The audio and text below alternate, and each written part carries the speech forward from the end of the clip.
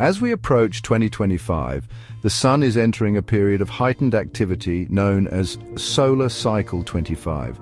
This cycle, which peaks roughly every 11 years, is shaping up to be one of the most active we've seen in decades. Increased solar activity brings breathtaking sights like intensified auroras. Early 2025 could deliver once-in-a-decade displays, with northern lights visible farther south than usual, perhaps even in parts of the UK.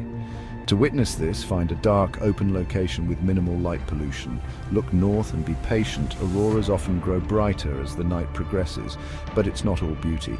Solar flares and coronal mass ejections can disrupt GPS, radio signals and even power grids. Agencies like NOAA are monitoring these events closely to minimize disruptions. In 2025, the sun will remind us of its power and beauty, shaping our skies and our technology. Stay informed to enjoy the celestial wonders and be ready for the challenges.